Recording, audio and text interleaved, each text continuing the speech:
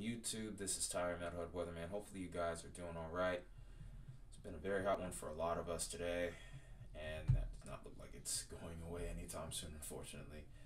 Sadness. But anyway, before I get into the video, I also want to say I appreciate the uh, the recent the, the wow recent the recent um, performance of these videos. How we've been uh, basically crushing it on the numbers so far. Like it's honestly unreal to me.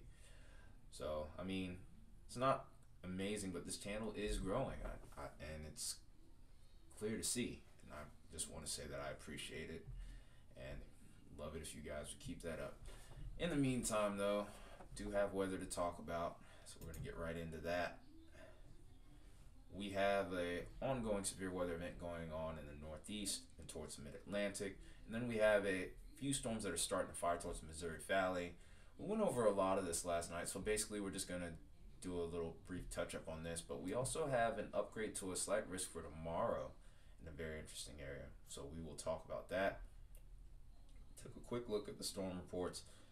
We have uh, quite a few wind reports so far, and about thir- we have 84 wind reports. We have 33 hail reports, one of which is significant, leading to a total 117 so far. But this event is still ongoing. And not too long ago, they actually have a uh, meso discussion that was issued about 25 minutes ago concerning a locally higher tornado threat. So we'll have to be really watchful watchful towards uh, northern Pennsylvania for the next couple of hours, particularly. I'm not super familiar with uh, the cities in that area or towns, so forgive me. I don't know any name. I can't name anything off the top of my head at the moment, so I do apologize for that. But if you're anywhere towards north central Pennsylvania, I would definitely be watching this line of storms as it's progressing through the area. I wouldn't rule out a brief spin up or something more significant. All right, so now that we've done that, we will look at the slight risk on Friday, and it's towards the southeast, and stretches all the way even towards the Delmarva. We have the uh, the Atlantic coast here, even the Mid Atlantic coast is involved. We have Richmond, Virginia Beach, you guys are in play. Charleston, Wilmington, can't rule you guys out, and even Savannah. You guys are in line for some potential severe storms. Then we stretch a little bit further inland. We have Raleigh, with Columbia, we have Charlotte, Roanoke, and Richmond. Well, Richmond I already said anyway, but you guys are in the slight risk. And this even stretches towards my hometown in Atlanta. We also got Chattanooga, Tennessee, and eastern parts, and then like the eastern sliver of Tennessee as well. A little bit more of southern Virginia, and maybe even a tiny little piece of West Virginia as well. The marginal risk stretches all the way to the Georgia Florida border and then stretches all the way even further west back towards the Missouri Valley. We also have two marginal risk areas. We have one that's towards uh, Montana and Wyoming.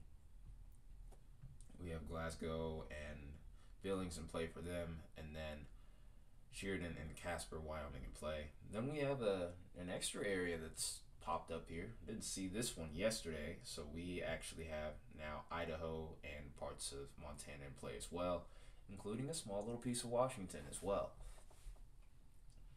These are all pretty marginal threats. Tornado threat is practically non-existent, and I say practically because you can never say never. I don't ever want to say never because watch it happen when I do say never. But the wind and the hail threat are the main stories, especially the wind threat for the southeast most likely going to be an MCS type setup, just like it's been over around this region for the last few days. Still going to be very hot, so this is not really doing much for that, unfortunately. Uh, so, anyways, let's just go right into the radar here. Not going to waste too much time on this video today. I gave you a 25 minute video last time. I'm pretty sure you're tired of hearing me talk. So here's our line of storms here. It's actually moving in a little bit more of a traditional direction, more to the south and and uh, maybe south and east, I would say, south southeast. And here's our uh, weather system that's going through the northeast right now, bringing in some severe weather. This will all dissipate by the overnight hours, and then here's our MCS that is going through the Missouri Valley. It's working its way towards the Ohio Valley, but it sneaks its way south, and this is going to be our system that causes some more storms to fire. This does look like a conditional setup once again, so this could turn into a deal where if you just happen to be under a pop up storm, you could see some severe weather. Otherwise, it's going to be maybe cloudy but relatively clear.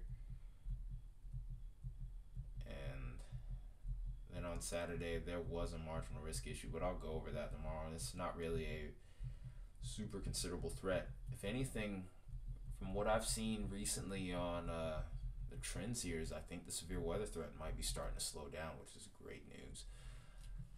A lot of us are very weary when it comes to that. We've been hoping for a while that this would happen.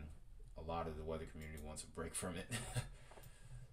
but anyway, let's take a look at the let's take a look at the low level jet. See what we have going on around central uh, Pennsylvania. This is really going to be the only impressive thing that I may end up seeing on here so far. Anywhere around here, these are just winds behind this current storm system. And you might see a little bit of activity towards the Missouri Valley, but not much move this along, and there is a small little spike where we get to about 40 knots, right around north central Pennsylvania over the next couple hours. We'll have to watch that close, but beyond that, really isn't much there to be had. It's a little bit of energy that pops up around here. I don't really think it still will amount to much. If anything, I think this might be behind the storm system. But we go into the afternoon hours, the energy just isn't really there. And normally during the time when you would expect a low level jet to increases towards the late evening and overnight hours, and we're seeing it dissipate actually, if anything.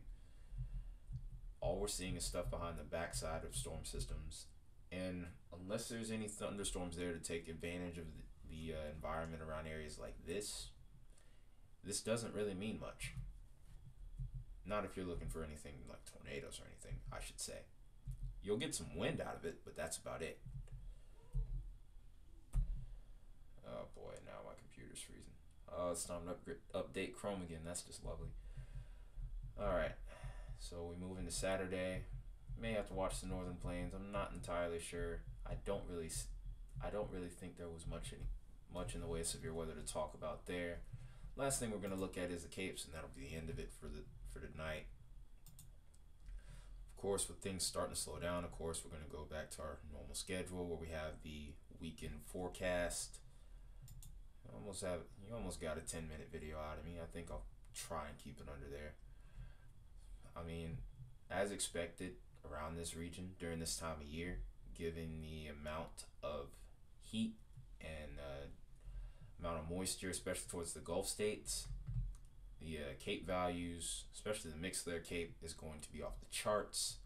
We're talking, I mean, it normally takes a thousand joules per kilogram to produce thunderstorms, and we're about three, four, some areas even five, maybe even, I may even find an area around here that's about six times over the limit, who knows. So any storms that pop up in this area always will have a chance to maybe go severe. So we move this along. And it's always around uh, peak hours of the day, towards the uh, south in particular, is where our threat for thunderstorms increases the most. And this threat's going to linger for a little while, all the way through the weekend. And then maybe towards the uh, Midwest, we'll have to watch for more pop up storms on Saturday night into Sunday, early, early Sunday morning. But we'll hash those details out in a later video. But this is all I got for you guys. Kept this under 10 minutes. I'm going to try to keep this under 945. But this has been Tire Metalhead Weatherman. I'll have the weekend forecast for you tomorrow, and I will see you then.